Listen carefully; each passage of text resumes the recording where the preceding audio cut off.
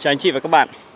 Như vậy là có thể thấy rằng là cái cách người Mỹ à, phản ứng lại với việc 10 quả tên lửa của Iran bắn vào các cái trung tâm quân sự của Mỹ tại à, Iraq trong những ngày vừa qua. Thì trong tối ngày hôm qua thì trước cái cuộc họp báo với lại báo chí tổng thống Mỹ đã đưa ra một cái cách phản ứng khá là thú vị. Và cũng nhờ cái cách phản ứng này thì thị trường à, đặc biệt là những cái thị trường quan trọng như là thị trường vàng, à, thị trường à, tiền số, thị trường dầu và cả thị trường chứng khoán đã có những cái diễn biến thực sự là khó lường, rất rất khó lường luôn. Người Mỹ đã chọn một cái cách đó là sẽ trừng phạt kinh tế đối với Iran. Cái cách trừng phạt kinh tế thì thông thường thì người ta sẽ thấy được rằng là um, cái câu chuyện cấm vận một cái quốc gia mà có những cái mâu thuẫn hoặc là có những cái vấn đề mà không nghe theo hoặc là làm trái với những cái gì mà người Mỹ mong muốn thì vẫn được người Mỹ chọn cái cách này. Tuy vậy thì à, để nói rõ hơn trong cái vụ việc này thì chúng ta mới thấy được một vài cái vấn đề nó như thế này. Thứ nhất là khi người Mỹ hiện nay, đến đến thời điểm hiện nay vẫn không đưa ra được à, một cái lý do chính đáng cho cái câu chuyện gọi là dùng máy bay không người lái để giết một vị tướng của Iran một trong ờ, hai người quan trọng nhất của một cái quốc gia. Và quốc gia này là quốc gia độc lập. À, có rất nhiều những cái bình luận trái chiều xung quanh cái vấn đề này. Tuy vậy thực tế mà nói thì có mà những nguồn thông tin thì cho rằng à, người Mỹ đã trái luật trong cái câu chuyện đó là sử dụng à, máy bay không người lái để giết một chính khách của một quốc gia độc lập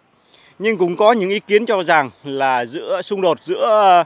uh, Mỹ và và đồng minh với lại Iran uh, tại uh, tại tại tại Iraq thì hoàn toàn đủ cái căn cứ tức là để uh, uh, cho Mỹ có thể gọi là sử dụng một số các cái biện pháp để ám sát cái vị tướng này. Dù đúng dù sai như thế nào thì chúng ta không đủ căn cứ cũng như là chưa đủ những cái thông tin để có thể đưa ra kết luận Tuy vậy thì à, Thắng ơi thì lại đưa ra một cái góc nhìn khác về cái câu chuyện này. Thực tế mà nói thì câu chuyện này chắc sẽ còn kéo dài và chắc chắn rằng là cái cái mâu thuẫn giữa Mỹ và Iran sẽ sẽ sẽ càng ngày càng lớn hơn. Có thể trong thời gian sắp tới thì cái việc mà Mỹ tiếp tục đưa ra những cái biện pháp cấm vận đối với Iran sẽ làm cho, gọi là, quốc gia này có những cái phản ứng mà đặc biệt là những cái phản ứng liên quan tới cái câu chuyện đó chính là tiếp tục làm giàu ujani hoặc là sẽ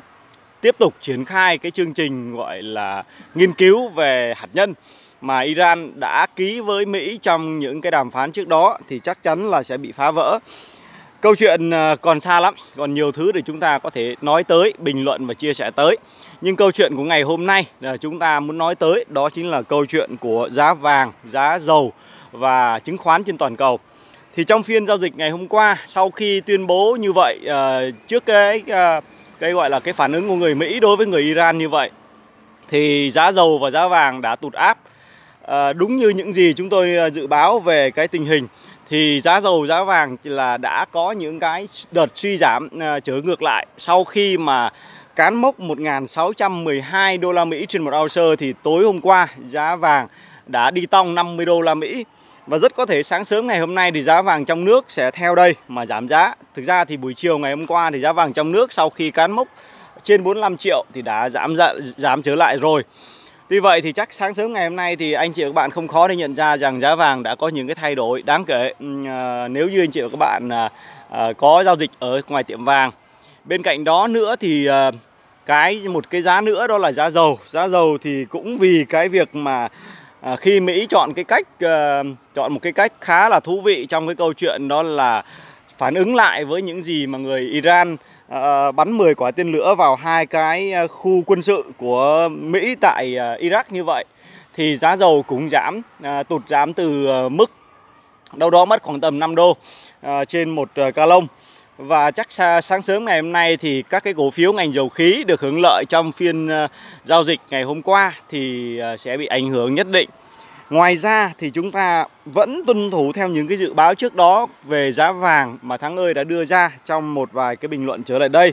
Thì cái câu chuyện giá vàng trước cái căng thẳng à, như thế này thì chắc chắn là về mặt chung và dài hạn thì nó vẫn có thể sẽ dịch chuyển tăng và mốc đến của giá vàng vẫn là 1.630 tới 1.650 trong 3 tháng đầu năm 2020. Tuy vậy thì cái câu chuyện đó nó sẽ phải kéo dài, tức là hôm nay mới chỉ là mùng 10, mùng 9, mùng 10 tháng 1 thôi còn rất nhiều thời gian để giá vàng dịch chuyển tăng lên và có thể trong năm 2020 rất nhiều anh chị và các bạn đã có, đã đưa ra những bình luận về việc giá vàng hoàn toàn có thể chạm cái mốc đỉnh điểm lịch sử của 10 năm trước 49 triệu hoặc 50 triệu trong thời gian trước đó. Dù nó như thế nào đi chăng nữa thì nó vẫn phải vận hành theo đúng cái quy luật về giá, tức là việc tăng giảm đan sen và câu chuyện là thời gian nó phải, nó mới có thể trả lời hết được cái cái giá mà anh chị và các bạn kỳ vọng nó không thể tăng ngay. Ví dụ như ngày hôm qua vàng vượt 45 sau đó tiếp tục phóng lên nữa là điều mà thực sự là theo những cái dự báo trước đó là điều khó. Chủ yếu là khi mà giá vàng tăng nhanh như vậy là do cái câu chuyện gọi là người Iran mất kiên nhẫn. Họ mất kiên nhẫn trong cái câu chuyện đó là à, theo kế hoạch thì sau quốc tang à, 3 ngày thì họ mới phản ứng với cái câu chuyện à, à, bị à, người Mỹ giết tướng. Nhưng mà trong cái à, lễ tang thì có một vấn đề nó diễn ra đó là vì cái câu chuyện dấm đạp nên là số người thiệt mạng do cái lễ tang này thì dẫn đến là việc đưa tang được hoãn lại và chưa biết là hoãn lại tới bao giờ. Do đó thì sau khi thông báo hoãn thì họ đã có những cái phản ứng quá chỉ là nóng vội. Tất nhiên cái căn cứ quân sự ờ, hai cái căn cứ không quân của Mỹ tại Iran thì theo một số nguồn tin chúng tôi được biết thì thực tế mà nói á, thì là họ đã thực sự là đã có những cái đề phòng và trước khi tên lửa bắn xuống hai căn cứ quân sự này, thì đã nghe tiếng báo động tại hai căn căn cứ quân sự này. Do đó thì chúng ta hoàn toàn có thể thấy rằng là nếu chưa, hiện nay thì cũng chưa có những cái công bố thiệt hại cụ thể, nhưng chắc là không có thiệt hại về người. Do đó thì cái sự mềm mỏng của người Mỹ đã được à, thông báo trong buổi chiều ngày hôm qua khi Tổng thống Mỹ đưa ra cái thông báo ờ, với phương tiện truyền thông. Và để kết thúc video ngày hôm nay thì chúng tôi ờ, cũng xin tiếp tục ờ, đưa ra một vài cái khuyến nghị ờ, cân nhắc với anh chị và các bạn với cái câu chuyện đó là chúng ta không thể vội vàng trong cái câu chuyện là trong một khoảng thời gian quá ngắn mà giá cả của bất kỳ một cái loại hàng hóa nào nó tăng nhanh thì chắc chắn là trong những ngày tiếp theo thì chắc chắn nó sẽ có những cái diễn biến không theo những cái mong muốn của anh chị và các bạn. Do đó thì bất kỳ lúc nào mà thị trường tăng trong một khoảng thời gian ngắn quá nhanh thì chúng ta cần phải thận trọng và đề phòng. Tránh những cái trường hợp chúng ta mua đuổi theo hoặc là tìm mọi cách để có thể giành giật mua được vàng. Và giống như trong cái phiên ngày hôm qua khi anh chị và các bạn thấy rằng là giá vàng tăng nhanh thì có rất nhiều những cái tổ chức, những cái tay gọi là chuyên kinh doanh vàng hoặc là những tay đầu cơ vàng họ đã đưa ra những cái khuyến nghị theo cái kiểu là phải mua bằng mọi giá, phải nhanh chóng để mua hoặc là bất chấp để có thể mua vì vậy thì khi anh chị và các bạn mua vào cái giá vàng trong ngày hôm qua với cái giá 45 thì chắc chắn trong ngày hôm nay thì anh chị và các bạn đã lỗ đâu đó một cây vàng là hơn một triệu rồi.